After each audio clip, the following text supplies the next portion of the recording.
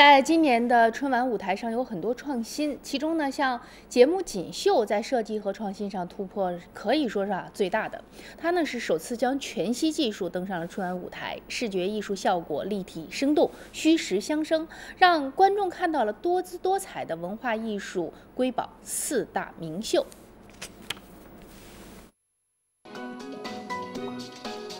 锦绣中真假李宇春同台秀堪称整台晚会前所未有的最大看点，很多观众看后都充满了好奇心。这样逼真的视觉效果究竟是怎样实现的呢？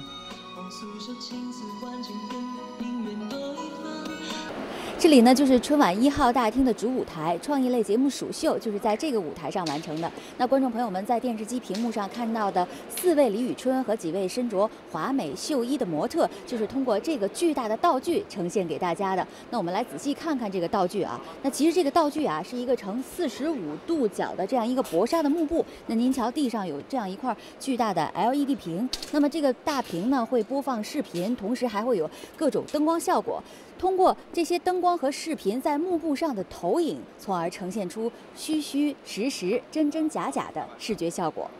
这个节目主要使用的是全息技术，全息是一种就是反射成像的一个技术。比方说，这个膜它就是一个全息反射膜，它是一个四十五度验射的一个原理。它利用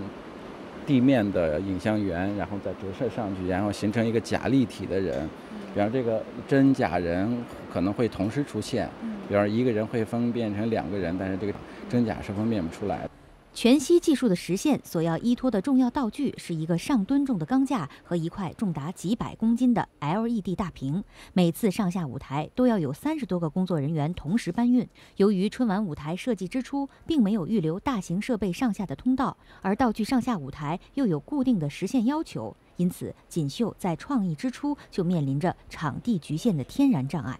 基本上九米乘五米这样的一个体量，其实反射膜是一种特别脆的、特别薄的一种东西，然后而且特别容易拉伸坏。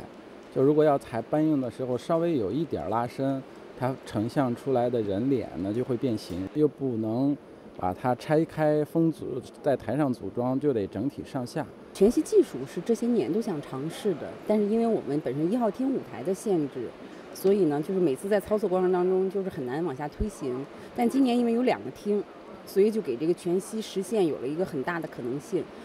两个舞台的出现满足了全息技术实现的客观条件，但单单有技术还远远不够。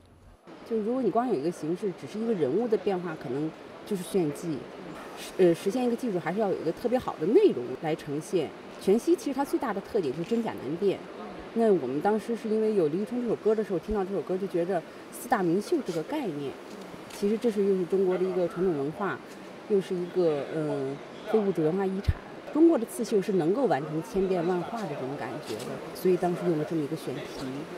李宇春干净阳光的形象以及充满传统文化元素的歌曲《蜀绣》，完全契合了春晚舞台的需要。演员和节目方案确定下来，紧接着进入到紧张的前期拍摄。李宇春和模特的虚拟部分需要进行大量的抠像拍摄，而重点和难点则在于后期如何让真人和虚拟的影像天衣无缝的配合。我觉得比较难的其实是在于舞蹈的部分，它那个全息技术需要点对点，非常的精准，能偏差一点点，那个视觉效果就不对了。所以在练习的过程当中，你一遍又一遍，整个整个脑子要被打乱，然后要重新学一遍反面的动作。这对于一个肢体的协调，还有去记忆上面的，很很有可能是出现混淆的这样这样的这样的一种状况。所以在在前期的排练当中，可能需要他花很多的时间和那个心力去克服这样的困难。四大名秀的展示可以说是贯穿整个节目的一条主线。模特从节目一开始就在虚实之间变换演绎着一套套刺绣礼服的华美。不管是模特也好，李宇春也好，你。人走路，我们每一遍都不可能走的手的位置、表情是一完全一致的，但是这个就要求精准到必须你手的高度连一公分、两公分的差距可能都不会有。所以我们之前在拍摄视频内容的时候，会在监视器上贴一个标条，你这次手到这儿，下次手还要到这儿。台前四个李宇春同时一展优雅舞姿的背后，还有着一些不为人知的小秘密。李宇春告诉我们，她从来没有想过会以这样独特的方式登场。这这次出场应该是我的歌手生涯，到目前为止吧，我觉得最难忘、最特殊的一次备场方式。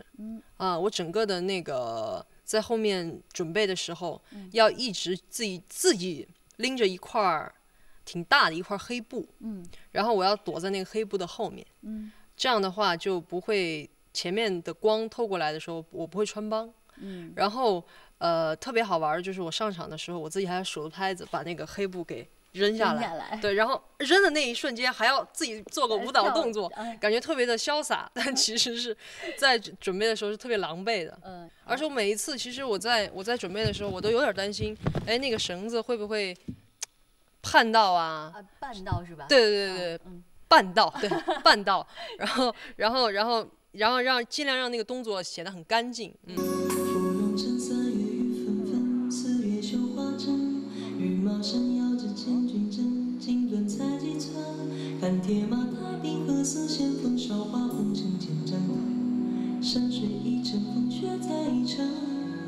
蜀绣作为春晚舞台上唯一一首中国风的流行歌曲，以唯美的歌词和动人的旋律诠释了中国刺绣的文化内涵。可以把这样的一首代表家乡的歌曲，其实也代表中国文化的一首歌曲，在央视的舞台上来呈现，我自己感到特别的骄傲。呃，同时也希望说可以通过这样的一首歌曲，可以让更多的人关注到我们的非物质文化遗产。